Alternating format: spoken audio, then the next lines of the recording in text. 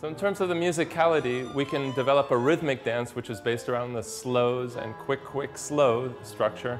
But we can also take more time and do more lyrical elements and slow things down. And a lot of times in the music, if there's a singer or some lyrical thing in the music, it really lends itself nicely to slowing it down. So we'll show you a few pausing steps in these next sections. First one we can do is just off a side step, taking a big side step.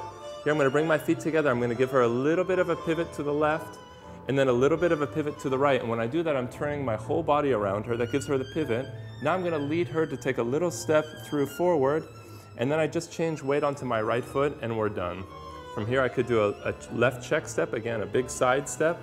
I could do another pausing step. So I give her a pivot, and a second pivot, and now I'm going to open up this left side of my embrace that leads her to take a small step through, and then I pivot her so that she faces me, and I have my left foot free, and we can take off. Right?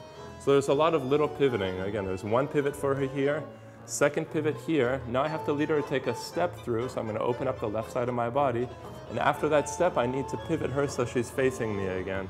So there's a lot of little subtleties there in order to make it comfortable for the follower. You know?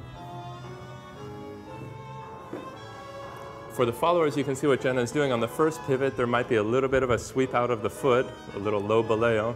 When we pivot to the front, you can tuck in front, tuck the foot in front as a little embellishment.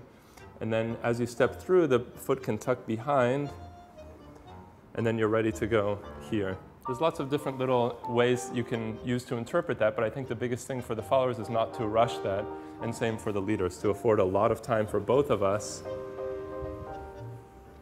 that we're not trying to do this in a rhythmic sense, we're trying to do it really slowly. We can also exit it with another side step, and we can repeat it.